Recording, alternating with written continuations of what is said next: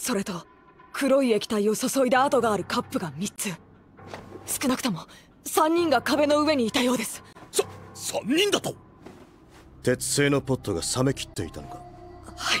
それはおかしい。馬と立体軌道を駆使して全力でここに到達した。Don't be upsetty. It's some spaghetti. The, the pot. We used false horses as speed, 近 but what 音 the や heck 目視おそらく5分か光まだ知れなけの名前を呼び合う願い